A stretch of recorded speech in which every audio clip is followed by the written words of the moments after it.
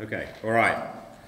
Uh, well, it's a great pleasure to be here. Um, it's my actually my first visit to a Scottish university, I'm ashamed to admit, and so I'm uh, delighted to be here. And uh, I certainly feel I've been here virtually uh, many times, and uh, many friends here, and uh, also importantly, very pleased to be back listening to talks on weak lensing, which I have not been paying much attention to of late. So it's uh, those of you who feel there's been no progress in the field and you're sort of trudging along the same furrows, uh, take it from Rip Van, an anti-Rip Van Winkle. In fact, that there has been. It's I'm having a hard time catching up and understanding what people are doing. So it's, it's, it's, it's, it's, it looks pretty good. Um, I was told I, I give inside a weak lensing, and I, have actually taken a little bit of a liberty, as you say, call it not so weak lensing. I know I'm not supposed to talk about strong lensing, uh, but I'm going to lapse a little. Um, reminds me of the old Woody Allen quip about um, the lion may uh, lay down with the lamb, but uh, when he does, the lamb doesn't get a lot of sleep. Um, anyway, so um, what I'm going to talk about is work that actually came out of a collaboration that's been going on, and you've already heard quite a bit about from Sherry Suyu, I think on Monday, uh, on B1608 plus 656. And the, I'm just going to talk about a part of this program and then try and make the connections to cosmic shear and galaxy-galaxy lensing. Um, I was hoping to actually finish this work off the last two weeks, but unfortunately I got sick, so that put pay to that. So there'll be some good intentions here, and this talk will be perhaps a little bit more didactic than I originally intended, and a little uh, light on results. But uh, I think it might be useful still to give some uh, discussion of some aspects of the fundamentals of gravitational lensing. Not the whole thing, but just some parts of it that perhaps have not been covered or have been presumed by earlier speakers. Uh, so uh, let me just uh, start off here by saying a little bit about, firstly, about cosmic shear, which is, of course, the primary topic of this conference uh, or workshop, and uh, oversimplifying, of course, and everybody here knows that in terms of marketing this, it's, it's, it's primarily a tool to empirically understand the properties of dark energy. It's also, of course, a, a means of testing the CDM paradigm. Uh, it's not the only one, of course, for both of these, but it nonetheless does a pretty good job. You, you, look at it over the scales, typically minutes to degrees, and we've seen plenty of evidence of brilliant data and burgeoning data sets, and it's only going to get better or worse depending on your perspective. Um, and then, of course, uh, there's the business about E and B modes, uh, which Nick uh, made uh, a big point about correctly because it provides a very good uh, null, null test that your, of your systematics.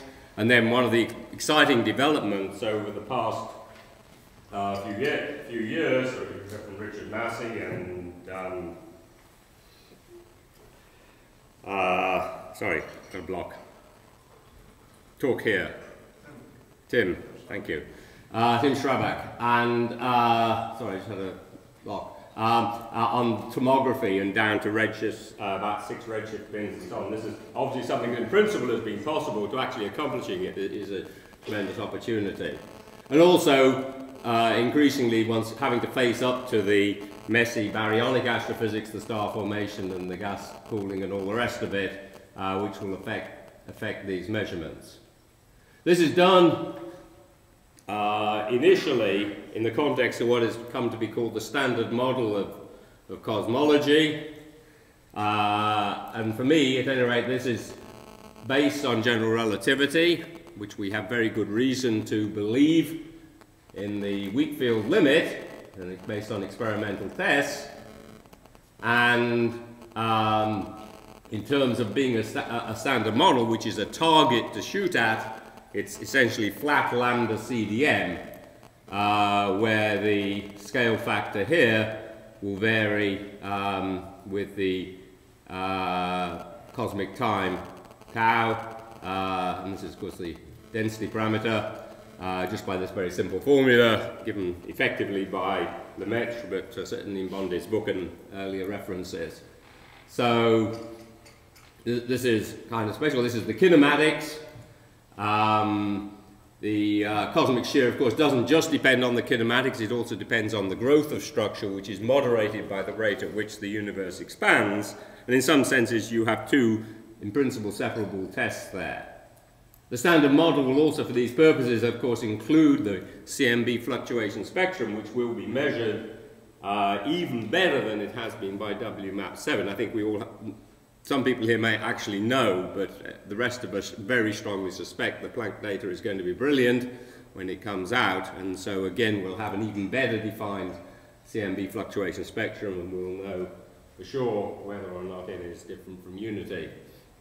Uh, so uh, this, you know, is a standard model. This is sort of baseline, and of course, being a target, many many of us would love to see this uh, fall from pedestal and see new physics emerge. But uh, um, the context in which that's done, there's, there's been a variety of ways of presenting this. One is a scalar potential. Uh, another is an empirical parameter W. It's for some reason it's called an equation of state. I never understood how a parameter can be an equation, but there you are. Um, and then some derivative of that. You could do it that way. I actually quite like the kinematics, which is, you can express in terms of the jerk or maybe the sprite if you want. Prefer alternative gravity. There are various prescriptions there um, uh, involving these f of r terms and so on uh, based on some sort of Lagrangian formalism. Again, people have done a lot of games, we've heard talks about those, uh, which have been certainly uh, very interesting from uh, and others. And then the uh, uh, some exotic uh, nonlinear, non-Gaussian effects and so on, they also can be invoked to make this much more complicated. In this talk, I want to take a, a somewhat simpler view of this. Much of the thrust of this is actually going on to trying to measure these quantities.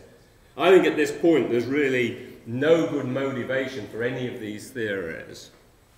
General relativity is the singular theory of gravity, and we went through a sort of learning curve about 30 years ago when systematically, uh, somewhat contrived but still motivated alternative theories of gravity gradually fell by the wayside and either were wrong or experimentally or ruled, ruled out to the point of almost insignificance.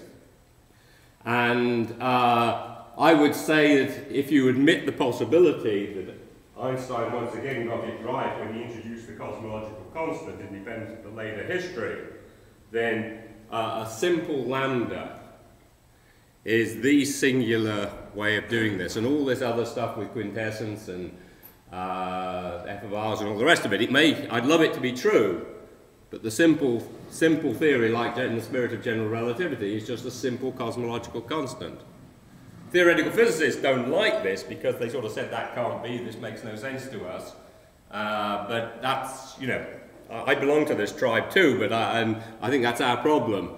Um, but uh, all the evidence is uh, consistent with the fact that simple cosmological constant. So therefore, pragmatically, from an observational or experimental point of view, what one should try to do is say, well, let's take this seriously, just like we do with general relativity, um, make predictions, then make the measurements, and see if you can get a significant discrepancy from the prediction of the simple standard model. That's an alternative approach. There's nothing wrong with the other approaches and setting limits on all of this, but that's the one I'm going to follow here and I think that will happen. And in some sense, that may well be the most convincing demonstration that there's new physics to be seen here than what I've just described. So I'm, so I'm going to take the viewpoint here that this is basically correct, and then, um, then see where we go from that. So we go to galaxy-galaxy lensing. Um, lots of talk yesterday. Great progress there. You measure the uh, tangential distortion by the background galaxies uh, of the background galaxies, excuse me, by foreground galaxies, and this is now measured in principle out to degree scales. At those scales, one is not measuring the effects of individual galaxies. What one is doing is exploring the two-point or more correlation function, and um, Uh, but still, signals are there and they should be seen. They're obviously distinguishing different galaxy morphologies and so on. And if I hope I've got this right, um, the profiles are not inconsistent with the NFW profile, uh, which um, on the one hand, uh, well, it sort of formally diverges in mass, but is usually truncated at some sort of virial radius, but only diverges logarithmically. Um, does have the property that circular velocities and virial uh, uh, and velocity dispersions should fall with radius um, uh, somewhat, but it's not clear that there's any inconsistency there. So again, there's a sort of sense that things are hanging together here. Uh, there is the um, complication, which was being known about from the start, and it's now um,